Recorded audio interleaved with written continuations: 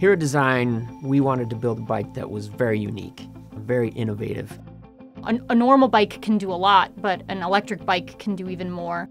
So that's one opportunity that allowed us to really take the integration of the motor, the battery, and the body of the bike to another level that no other company can really achieve right now. Other folding bikes on the market quickly came to mind.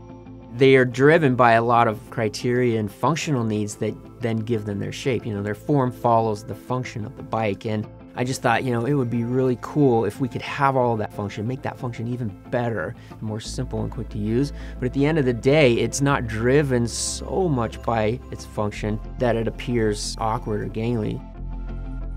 One latch, one system on the bike releases three other latches on the bike. So you're not going from point to point to point around the bike and releasing all these latches and doing them in the right way. You just pull one lever, boom, three things happen at the same time. It's unique to our bike. No other folding bike has it, no other folding electric bike has it.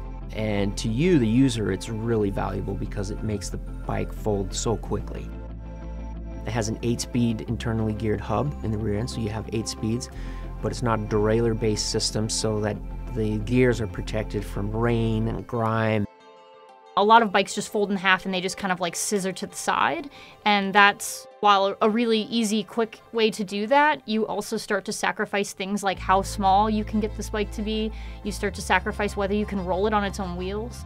Most folding bikes, you fold them up, you have to lift them.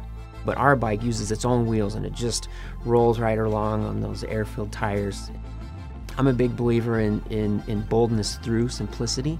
I wanted the bike to be simple, I wanted to be kind of pure and honest the way I saw that happening was just very simply connecting the dots through the bike with this, this simple arch design.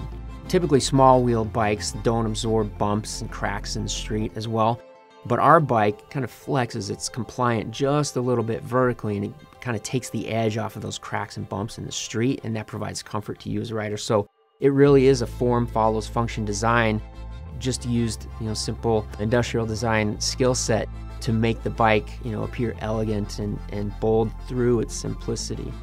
It's one of the best looking bikes out there. We definitely tried to make this look as integrated and as sleek and smooth as possible. But it wasn't styled that way first. We put the user experience first. We put the design of the product first, and then all that nice stuff came on the end, like the icing on the cake.